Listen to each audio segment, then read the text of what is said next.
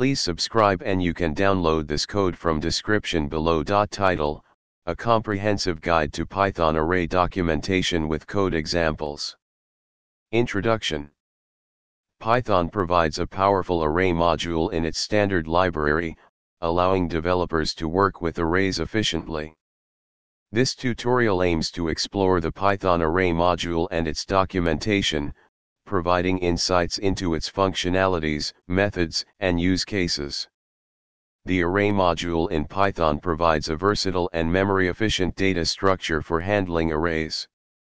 Unlike lists, arrays in Python are more compact and faster, making them suitable for numerical operations and large data sets.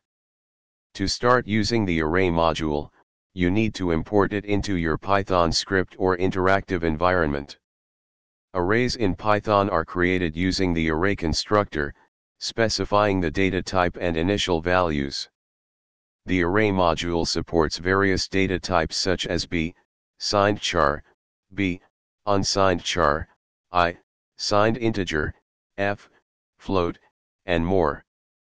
Consult the official documentation for a complete list of supported data types. Array elements can be accessed using indices, just like lists in Python. The array module provides several useful methods for manipulating arrays. Appends a new element at the end of the array. Appends elements from another iterable to the end of the array removes the first occurrence of a specified value from the array. Arrays support slicing, allowing you to extract specific portions of the array.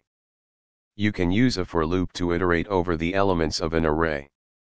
The Python Array module is a valuable tool for efficient handling of arrays in your programs. Refer to the official documentation for a detailed understanding of all available methods and data types. This tutorial serves as a starting